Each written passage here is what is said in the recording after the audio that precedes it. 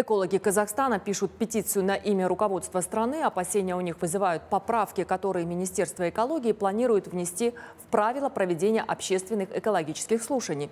Разработка нового документа, а теперь и его обсуждение, по словам экологов, прошла без их участия. И вот, к сожалению, министерство, э, это даже как фильетон, смешно говорить, оно забыло позвать общественность, чтобы обсудить изменения о правах общественности. И сейчас проводят зумы в интернете, и туда даже невозможно подключиться всем желающим. И все общественные экологи Казахстана прямо бьют тревогу, потому что это грубейшее нарушение и духа, и буквы этой Орхусской конвенции о праве нас, граждан, на доступ к экологической информации.